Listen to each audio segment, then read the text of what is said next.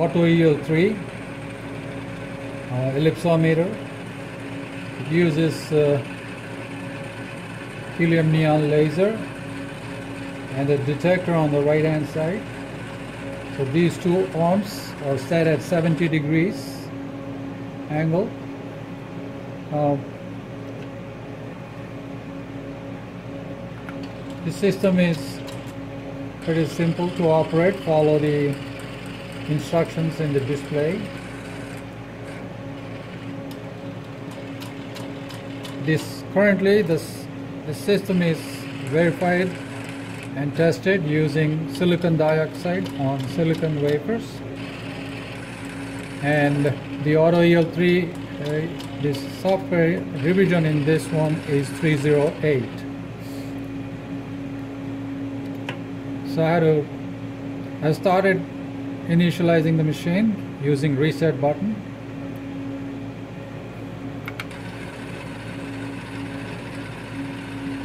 So soon after power up, the system will initialize and prompt to up compensate insert, which is slide this aluminum plate up and then press continue. There are motors rotating the analyzer prism on the detector side and the polarizer prism on the source side. So the microprocessor control machine does take some certain few seconds to few minutes before it finishes the calculation of the data. So right now the unit after initial rundown is now asking me to down the compensator which is this button. And then press continue our program. I'm going to select a program. And I'm the program I'm using is program 210 this program will not only measure the thickness of the film also it measures the refractive index of the substrate. So you have to press button E to enter or start the measurement process. The system comes with a, a thermal printer. And it will print the data such as the program code and delta and psi values and also the refractive index of the lower film or the substrate and the thickness of the upper film and then also it will display the order thickness ORDL.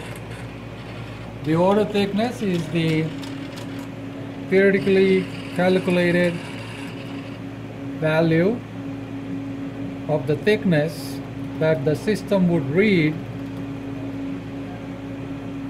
without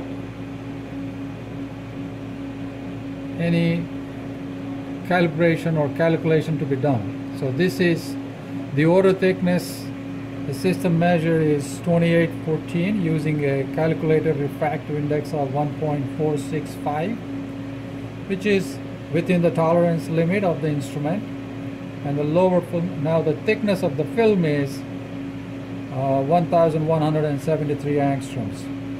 If there is a film, the thickness is more than this value, the order thickness value, then the displayed reading should be added to this. So the formula for calculating the final thickness is n times order thickness plus the displayed value. So where the n is equal to 0, 1, 2, 3 and so on. So this system with the helium neon laser, the order thickness is 2,825 angstroms. So right now I'm going to start another recipe and this time I'm going to program code 211 and I'm going to press enter. Now the system prompts me to enter the refractive index of the lower film or the substrate which will be 1 D for decimal point and 462 and enter.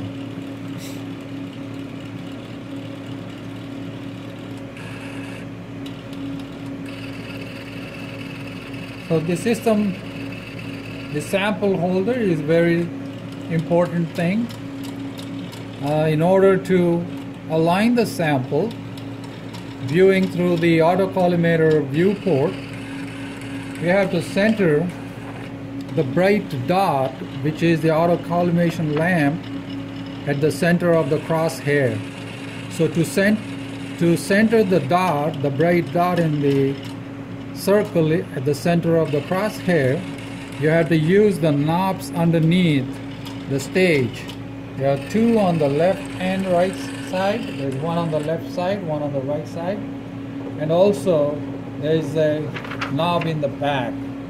So to compensate for the height variation, the, the quarter 20 Allen screw down here under the disc should be loosened and rotate this big wheel to raise or lower the stage. So this sample, uh, which is uh, about 1155 angstroms, is measured as 1177 angstroms. So I'm going to repeat the measurement one more time by pressing continue.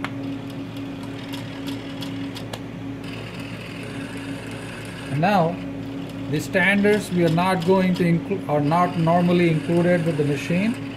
So just for the demonstration purpose, I'm going to test using a 2228 angstroms Rudolph standard.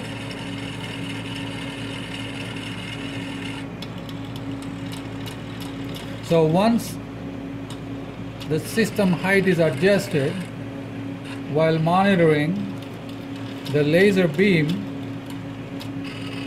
on the polarizer side, the beam should be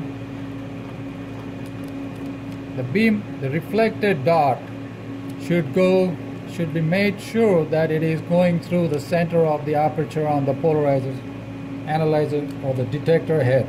This is the detector head. So the beam should be passing through the center of the hole right there. In case if the beam is not passing, then the with the help of autocollimation and adjusting the height of the stage and tilting mechanism, the dot should be brought back to the center. So I'm going to change the sample and this is a 2228 angstrom sample.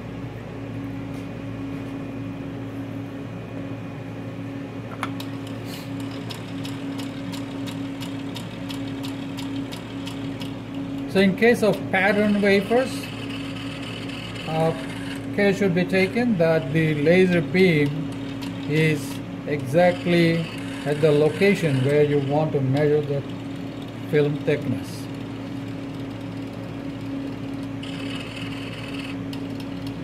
There are no repairable parts inside the system, so no attempt should be made to adjust any hardware parts inside the system.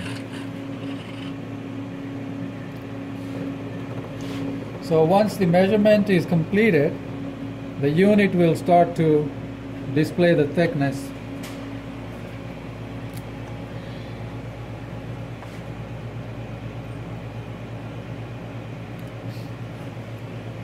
So this indicates a thickness of 62 because the beam was reflecting off a surface where there is no film. So I'm going to make sure this time it will hit the surface in the zone.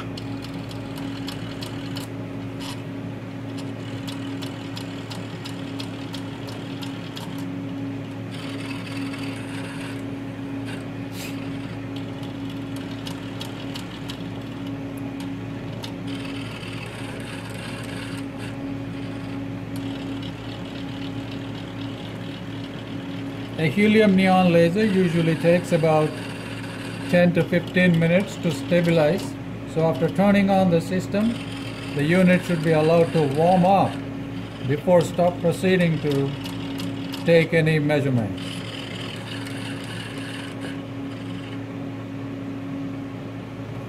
So now this time it is measuring 2243 as the thickness because I have aligned the beam location where it is hitting the touch surface.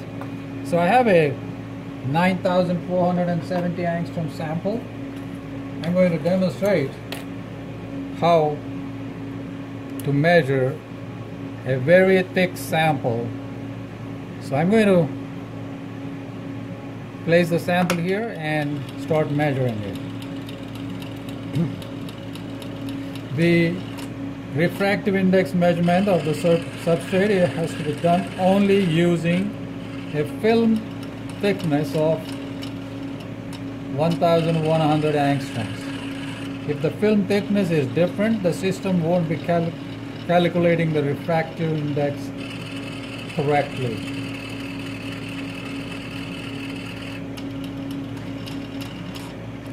The unit will be shipped out with a user's manual and the user's manual usually is exhaustive and it's a generic manual with the details about the operation and service details. No attempt should be made and all the program codes listed in the manual need not necessarily function because of the re revision of the software could be different and the program codes could change. So here a 9470 angstrom sample is displaying a, a film thickness of 1010. So the order thickness is 2825 times 3 which gives me 8475. I add the value 1010 to that value and it comes to 9485. So the readings are pretty much within the tolerance limits and it measures accurately a very thick film which is almost 10,000 angstroms. Now I'm going to test a 500 angstroms sample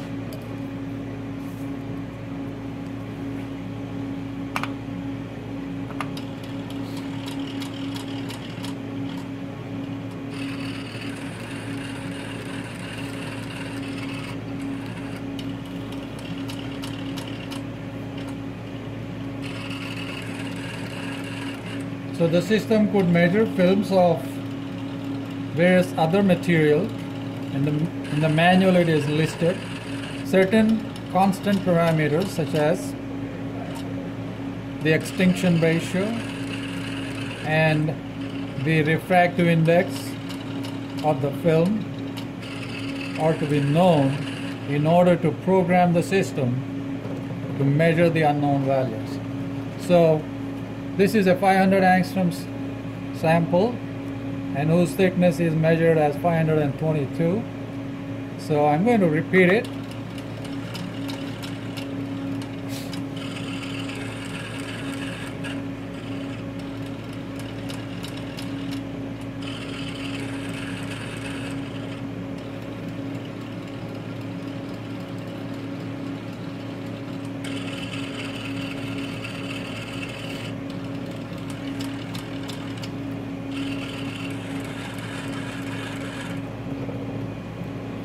and this switch is for the lamp inside the autocollimator and after alignment this can be turned off